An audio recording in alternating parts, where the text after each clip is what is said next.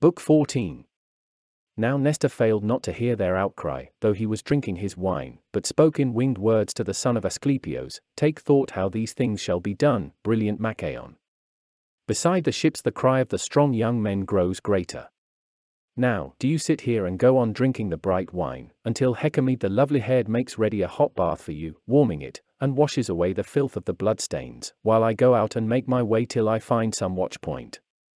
So he spoke, and took up the wrought shield of his son Thrasymedes, breaker of horses. It lay in the shelter all shining in bronze. Thrasymedes carried the shield of his father. Then he caught up a powerful spear edged in sharp bronze and stood outside the shelter, and at once saw a shameful action, men driven to flight, and others harrying them in confusion, the great-hearted Trojans, and the wall of the Achaeans overthrown. As when the open sea is deeply stirred to the groundswell but stays in one place and waits the rapid onset of tearing gusts, nor rolls its surf onward in either direction until from Zeus the wind is driven down to decide it, so the aged man pondered, his mind caught between two courses, whether to go among the throng of fast-mounted Danaans or in search of Atreus' son Agamemnon, shepherd of the people and in the division of his heart this way seemed best to him, to go after the son of Atreus, while the rest went on with the murderous battle, and the weariless bronze about their bodies was clashing as the men were stabbing with swords and leaf-headed spears. Now there came toward Nestor the kings under God's hand, they who had been wounded by the bronze and came back along the ships, Tydeus' son, and Odysseus, and Atreus' son Agamemnon. For there were ships that had been hauled up far away from the fighting along the beach of the Grey Sea. They had hauled up the first ones on the plain, and by the sterns of these had built their defences, for, wide as it was, the seashore was not big enough to make room for all the ships, and the people also were straitened, and therefore they had hauled them up in depth, and filled up the long edge of the whole sea coast, all that the two capes compassed between them. These lords walked in a group, each leaning on his spear, to look at the clamorous battle, and for each the heart inside his body was sorrowful, and Nestor the aged man who now met them made still more cast down the spirit inside the Achaeans. Now powerful Agamemnon spoke aloud and addressed him, Nestor, son of Neleus, great glory of the Achaeans, why have you left the fighting where men die, and come back here? I am afraid huge Hector may accomplish that word against me that he spoke, threatening, among the Trojans assembled, that he would not make his way back from the ships toward Ilion until he had set the ships on fire, and killed the men in them. So he spoke then, now all these things are being accomplished. Oh, shame, for I think that all the other strong grieved Achaeans are storing anger against me in their hearts, as Achilles did, and no longer will fight for me by the grounded vessels. Then answered him in turn the Gerenian horseman Nestor, All these things have been brought to fulfillment, nor in any other way could even Zeus who thunders on high accomplish it. For the wall has gone down in which we put our trust, that it would be a protection for our ships and us, and could not be broken, and our men beside the fast ships are fighting incessantly without end, nor could you tell any more, though you looked hard, from which side the Achaeans are broken into confusion, so indiscriminately are they killed, and their crying goes skyward. We then must take thought together how these things shall be done if we can do anything for us now. I think that we must not enter the fight, a man cannot fight on when he is wounded. Then in turn the lord of men Agamemnon spoke to him, Nestor, since now they are fighting beside the grounded vessels and the wall we built has done us no good, nor the ditch either where the Danaans endured so much, and their hearts were hopeful it would be a protection to their ships and them, and could not be broken, then such is the way it must be pleasing to Zeus, who is too strong, that the Achaeans must die here forgotten and far from Argos. For I knew it, when with full heart he defended the Danaans, and I know it now, when he glorifies these people as if they were blessed gods, and has hobbled our warcraft and our hand's strength. Come then, do as I say, let us all be won over, let us take all those ships that are beached near the sea in the first line and haul them down, and row them out on the shining water, and moor them at anchor stones out on the deep water, until the immortal night comes down, if the Trojans will give over fighting for night's sake, then we might haul down all the rest of our vessels. There is no shame in running, even by night, from disaster. The man does better who runs from disaster than he who is caught by it. Then looking darkly at him spoke resourceful Odysseus, son of Atreus, what sort of word escaped your teeth's barrier? Ruinous.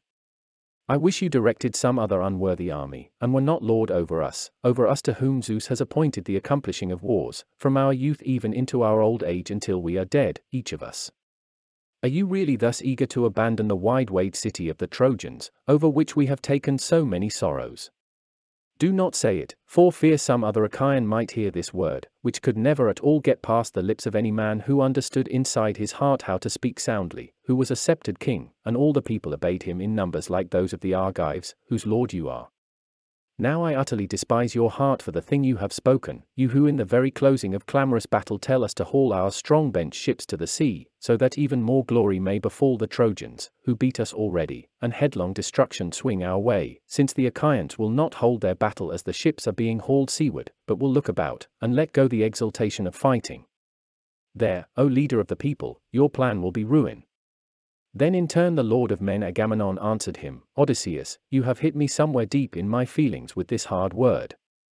But I am not telling the sons of the Achaeans against their will to drag their bent ships down to the water.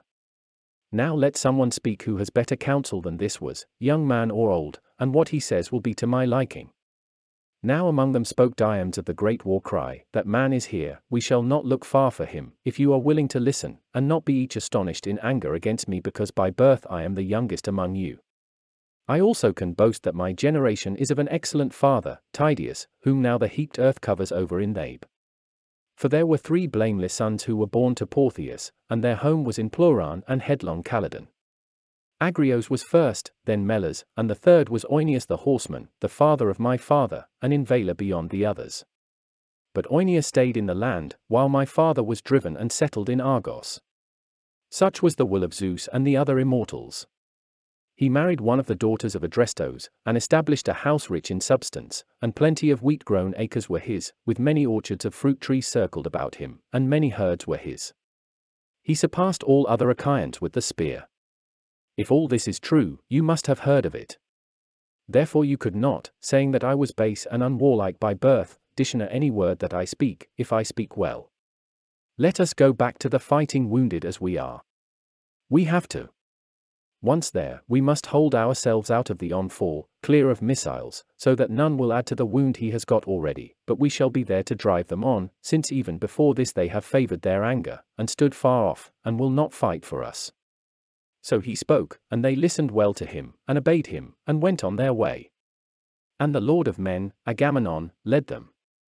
Neither did the glorious shaker of the earth keep blind watch, but came among them now in the likeness of an old man, and took hold of Agamemnon, Atreus' son, by the right hand, and spoke to him and addressed him in winged words, Son of Atreus, I think that now that baleful heart in the breast of Achilles must be happy as he stares at the slaughter of the Achaeans and their defeat. There is no heart in him, not even a little. Even so may the gods strike him down, let him go to destruction. But with you the blessed gods are not utterly angry. There will still be a time when the lords of Troy and their counselors shall send dust wide on the plain, and you yourself shall look on them as they take flight for their city away from the ships and the shelters. So he spoke, and swept on over the plain, with a huge cry like the yell 9,000 men send up, or 10,000 in battle, as they close in the hateful strife of the war god. So huge was the cry the powerful earthshaker let go from his lungs, and in the heart of every Achaean implanted great strength, to carry the battle on, and fight without flinching. Now Hera, she of the golden throne, standing on Olympos' horn, looked out with her eyes, and saw at once how Poseidon, who was her very brother and her lord's brother, was bustling about the battle where men win glory, and her heart was happy. Then she saw Zeus, sitting along the loftiest summit on Ida of the springs, and in her eyes he was hateful, and now the lady ox-eyed Hera was divided in purpose as to how she could beguile the brain in Zeus of the Aegis. And to her mind this thing appeared to be the best counsel, to array herself in loveliness, and go down to Ida, and perhaps he might be taken with desire to lie in love with her next her skin, and she might be able to drift an innocent warm sleep across his eyelids, and seal his crafty perceptions. She went into her chamber, which her beloved son Hephaestus had built for her, and closed the leaves in the doorpost snugly with a secret door bar, and no other of the gods could open it. There entering she drew shut the leaves of the shining door, then first from her adorable body washed away all stains with ambrosia, and next anointed herself with ambrosial sweet olive oil, which stood there in its fragrance beside her, and from which, stirred in the house of Zeus by the golden pavement, a fragrance was shaken forever forth, on earth and in heaven. When with this she had anointed her delicate body and combed her hair, next with her hands she arranged the shining and lovely and ambrosial curls along her immortal head, and dressed in an ambrosial robe that Athene had made her carefully, smooth, and with many figures upon it, and pinned it across her breast with a golden brooch, and circled her waist about with a zone that floated a hundred tassels, and in the lobes of her carefully pierced ears she put rings with triple drops in mulberry. Clusters, radiant with beauty, and, lovely among goddesses, she veiled her head downward with a sweet fresh veil that glimmered pale like the sunlight. Underneath her shining feet she bound on the fair sandals. Now, when she had clothed her body in all this loveliness, she went out from the chamber, and called aside Aphrodite to come away from the rest of the gods, and spoke a word to her, Would you do something for me, dear child, if I were to ask you? Or would you refuse it? Are you forever angered against me because I defend the Danaans, while you help the Trojans? Then the daughter of Zeus, Aphrodite, answered her, Hera, honored goddess, daughter to mighty Kronos, speak forth whatever is in your mind. My heart is urgent to do it if I can, and if it is a thing that can be accomplished. Then, with false lying purpose, the lady Hera answered her, Give me loveliness and desirability, graces with which you overwhelm mortal men, and all the immortals. Since I go now to the ends of the generous earth, on a visit to Okeanos, whence the gods have risen, and Tethys our mother who brought me up kindly in their own house, and cared for me and took me from Rhea, at that time when Zeus of the wide brows drove Kronos underneath the earth and the barren water. I shall go to visit these, and resolve their division of discord, since now for a long time they have stayed apart from each other and from the bed of love, since Rancer has entered their feelings. Could I win over with persuasion the dear heart within them and bring them back to their bed to be merged in love with each other, I shall be forever called honored by them, and beloved. Then in turn Aphrodite the laughing answered her, I cannot, and I must not deny this thing that you asked for, you, who lie in the arms of Zeus, since he is our greatest. She spoke, and from her breasts unbound the elaborate, pattern-pierced zone, and on it are figured all beguilements, and loveliness is figured upon it, and passion of sex is there, and the whispered endearment that steals the heart away even from the thoughtful. She put this in Hera's hands, and called her by name and spoke to her, Take this zone, and hide it away in the fold of your bosom. It is elaborate, all things are figured therein. And I think whatever is your heart's desire shall not go unaccomplished. So she spoke, and the ox-eyed lady Hera smiled on her and smiling hid the zone away in the fold of her bosom. So Aphrodite went back into the house, Zeus' daughter, while Hera in a flash of speed left the horn of Olympos and crossed over Pieria and Emathia the lovely and overswept the snowy hills of the Thracian riders and their uttermost pinnacles, nor touched the ground with her feet. Then from Athos she crossed over the heaving main sea and came to Lemnos, and to the city of godlike Thoas. There she encountered Sleep, the brother of Death. She clung fast to his hand and spoke a word and called him by name, Sleep, Lord over all mortal men and all gods, if ever before now you listened to word of mine, so now also do as I ask, and all my days I shall know gratitude. Put to sleep the shining eyes of Zeus under his brows as soon as I have lain beside him in love. I will give you gifts, a lovely throne, imperishable forever, of gold. My own son, he of the strong arms, Hephaestos, shall make it with careful skill and make for your feet a footstool on which you can rest your shining feet when you take your pleasure. Then Sleep the still and soft spoke to her in answer, Hera, honored goddess and daughter of mighty Kronos, any other one of the gods, whose race is immortal, I would lightly put to sleep, even the stream of that river Okeanos, whence is risen the seed of all the immortals. But I would not come too close to Zeus, the son of Kronos, nor put him to sleep, unless when he himself were to tell me. Before now, it was a favor to you that taught me wisdom, on the day Heracles, the high-hearted son of Zeus, was sailing from Ilion, when he had utterly sacked the city of the Trojans. That time I laid to sleep the brain in Zeus of the Aegis and drifted upon him still and soft, but your mind was devising evil, and you raised along the sea the blasts of the racking winds, and on these swept him away to Cos, the strong-founded, with all his friends lost, but Zeus awakened in anger and beat the gods up and down his house, looking beyond all others for me, and would have sunk me out of sight in the sea from the bright sky had not Night who has power over gods and men rescued me. I reached her in my flight, and Zeus let be, though he was angry in awe of doing anything to swift Night's displeasure. Now you ask me to do this other impossible thing for you. Then in turn the lady ox-eyed Hera answered him, Sleep, why do you ponder this in your heart, and hesitate? Or do you think that Zeus of the wide brows, aiding the Trojans, will be angry as he was angry for his son, Heracles? Come now, do it, and I will give you one of the younger graces for you to marry, and she shall be called your lady, Pasithea, since all your days you have loved her forever. So she spoke, and Sleep was pleased and spoke to her in answer, Come then. Swear it to me on Styx', ineluctable water. With one hand take hold of the prospering earth, with the other take hold of the shining salt sea, so that all the undergods who gather about Cronos may be witnesses to us. Swear that you will give me one of the younger graces, Pasithea, the one whom all my days I have longed for. He spoke, nor failed to persuade the goddess Hera of the white arms, and she swore as he commanded, and called by their names on all those gods who live beneath the pit, and who are called Titans.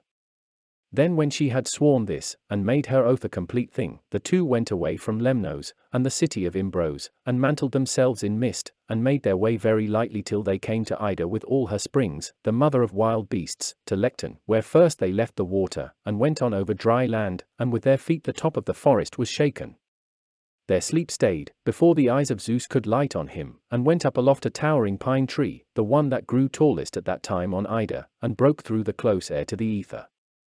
In this he sat, covered over and hidden by the pine branches, in the likeness of a singing bird whom in the mountains the immortal gods call Chalkis, but men call him Kymindis. But Hera light-footed made her way to the peak of Gargaros on towering Ida. And Zeus who gathers the clouds saw her, and when he saw her desire was a mist about his close heart as much as on that time they first went to bed together and lay in love, and their dear parents knew nothing of it. He stood before her and called her by name and spoke to her, Hera, what is your desire that you come down here from Olympos? And your horses are not here, nor your chariot, which you would ride in. Then with false lying purpose the lady Hera answered him, I am going to the ends of the generous earth, on a visit to Okeanos, whence the gods have risen, and Tethys our mother, who brought me up kindly in their own house, and cared for me. I shall go to visit these, and resolve their division of discord, since now for a long time they have stayed apart from each other and from the bed of love, since Rancer has entered their feelings. In the foothills by Ida of the waters are standing my horses, who will carry me over hard land and water. Only now I have come down here from Olympos for your sake so you will not be angry with me afterward, if I have gone silently to the house of deep-running Okeanos. Then in turn Zeus who gathers the clouds answered her, Hera, there will be a time afterward when you can go there as well. But now let us go to bed and turn to lovemaking. For never before has love for any goddess or woman so melted about the heart inside me, broken it to submission, as now, not that time when I loved the wife of Ixion who bore me Peirithous, equal of the gods in council, nor when I loved Acrisios' daughter, sweet-stepping Danae, who bore Perseus to me, preeminent among all men, nor when I loved the daughter of far-renowned Phoenix, Europa who bore Minos to me, and Rhadamanthys the godlike, not when I loved Semele, or Alcmene in Thebe, when, Alcmene bore me a son, Heracles the strong-hearted, while Semele's son was Dionysos, the pleasure of mortals, not when I loved the queen Demeter of the lovely tresses, not when it was glorious Leto, nor yourself, so much as now I love you, and the sweet passion has taken hold of me. Then with false lying purpose the lady Hera answered him, Most honored son of Cronos, what sort of thing have you spoken? If now your great desire is to lie in love together here on the peaks of Ida, everything can be seen. Then what would happen if some one of the gods everlasting saw us sleeping, and went and told all the other immortals of it? I would not simply rise out of bed and go back again, into your house, and such a thing would be shameful. No, if this is your heart's desire, if this is your wish, then there is my chamber, which my beloved son Hephaestos has built for me, and closed the leaves in the doorpost snugly. We can go back there and lie down, since bed is your pleasure. Then in turn Zeus who gathers the clouds answered her, Hera, do not fear that any mortal or any god will see, so close shall be the golden cloud that I gather about us. Not even Helios can look at us through it, although beyond all others his light has the sharpest vision. So speaking, the son of Cronos caught his wife in his arms. There underneath them the divine earth broke into young, fresh grass, and into dewy clover, crocus and hyacinth so thick and soft it held the hard ground deep away from them. There they lay down together and drew about them a golden wonderful cloud, and from it the glimmering dew descended. So the father slept unshaken on the peak of Gargaron with his wife in his arms, when sleep and passion had stilled him, but gently sleep went on the run to the ships of the Achaeans with a message to tell him who circles the earth and shakes it, Poseidon, and stood close to him and addressed him in winged words, Poseidon, now with all your heart defend the Danaans and give them glory, though only for a little, while Zeus still sleeps, Since I have mantled a soft slumber about him and Hera. Beguiled him into sleeping in love beside her. He spoke so, and went away among the famed races of men, and stirred Poseidon even more to defend the Danaans. He sprang among their foremost and urged them on in a great voice, Argives, now once more must we give the best of it to Hector, Priam's son, so he may take our ships and win glory from them? Such is his thought and such is his prayer, because now Achilles in the anger of his heart stays still among the hollow ships. But there will not be too much longing for him, if the others of us can stir ourselves up to stand by each other. Come, then, do as I say, let us all be won over, let us take those shields which are best in all the army and biggest and put them on, and cover our heads in the complete shining of helmets, and take in our hands our spears that are longest and go. I myself will lead the way, and I think that no longer Hector, Priam's son, can stand up to us, for all his fury. Let the man stubborn in battle who wears a small shield on his shoulder give it to a worse man, and put on the shield that is bigger. So he spoke, and they listened hard to him, and obeyed him. The kings in person marshaled these men, although they were wounded, Tydeus' son, and Odysseus, and Atreus' son Agamemnon. They went among all, and made them exchange their armor of battle, and the good fighter put on the good armor, and each gave the worse gear to the worse. Then when in the shining bronze they had shrouded their bodies they went forward, and Poseidon the shaker of the earth led them holding in his heavy hand the stark sword with the thin edge glittering, as glitters the thunder flash none may close with by right in sorrowful division, but fear holds all men back. On the other side glorious Hector ordered the Trojans, and now Poseidon of the dark hair and glorious Hector strained to its deadliest the division of battle, the one bringing power to the Trojans, and the god to the Argives. The breaking of the sea washed up to the ships and the shelters of the Argives. The two sides closed together with a great war cry.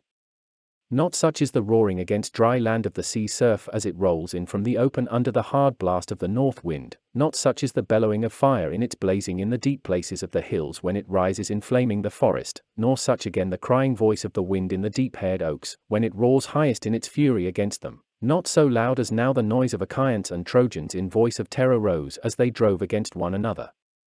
First glorious Hector made a cast with his spear at Aias since he had turned straight against him, nor missed with his throw but struck, there where over his chest were crossed the two straps, one for the sword with the silver nails, and one for the great shield. These guarded the tenderness of his skin.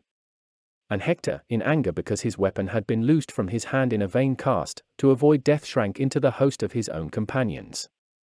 But as he drew away huge Telamonian Aias caught up a rock, there were many, holding stones for the fast ships, rolled among the feet of the fighters, he caught up one of these and hit him in the chest next the throat over his shield rim, and spun him around like a top with the stroke, so that he staggered in a circle, as a great oak goes down root torn under Zeus' father's stroke, and a horrible smell of sulphur arises from it, and there is no courage left in a man who stands by and looks on. For the thunderstroke of great Zeus is a hard thing, so Hector in all his strength dropped suddenly in the dust, let fall the spear from his hand, and his shield was beaten upon him, and the helm, and his armor elaborate with bronze clashed over him. Screaming aloud the sons of the Achaeans ran forward in hope to drag him away, and threw their volleying javelins against him, yet no man could stab or cast at the shepherd of the people. Sooner the Trojans bravest gathered about him, Aeneas, and Polydamas, and brilliant Agenor, Sarpedon, lord of the Lycians, and Glaucus the blameless, and of the rest no man was heedless of him, but rather sloped the strong circles of their shields over him, while his companions caught him in their arms out of the fighting and reached his fast-footed horses, where they stood to the rear of the fighting and the battle holding their charioteer and the elaborate chariot, and these carried him, groaning heavily, back toward the city. But when they came to the crossing place of the fair running river, of whirling Xanthos, whose father was Zeus the immortal, they moved him from behind his horses to the ground, and splashed water over him. He got his wind again, and his eyes cleared, and he got up to lean on one knee and vomit a dark clot of blood, then lay back on the ground again, while over both eyes dark night misted. His strength was still broken by the stone stroke. But the Argives, when they saw Hector withdrawing from them, remembered once again their warcraft and turned on the Trojans. There far before them all swift Aias son of Oileus made an outrush, and stabbed with the sharp spear Satnios, Inops' son, whom the perfect Naiad nymph had borne once to Inops, as he tended his herds by Satnioeis river. The spear-famed son of Oileus, coming close to this man, stabbed him in the flank so that he knocked him backward, and over him Trojans and Danaans closed together in strong encounter.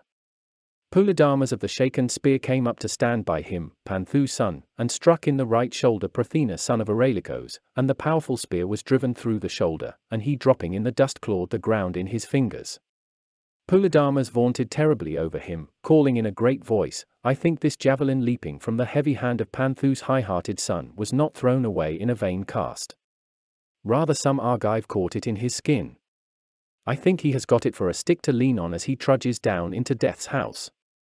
He spoke, and sorrow came over the Argives at his vaunting, and beyond others he stirred the anger in wise Telamonian Aias, for the man had fallen closest to him, and at once he made a cast with the shining spear at returning Polydamas. But Polydamas himself avoided the dark death with a quick spring to one side, and Archilochos son of Antenor caught the spear, since the immortal gods had doomed his destruction. He hit him at the joining place of head and neck, at the last vertebra, and cut through both of the tendons, so that the man's head and mouth and nose hit the ground far sooner than did the front of his legs and knees as he fell. And Aias spoke aloud in answer to unfaulted Polydamas, Think over this, Polydamas, and answer me truly. Is not this man's death against Prothoenor's a worthwhile exchange?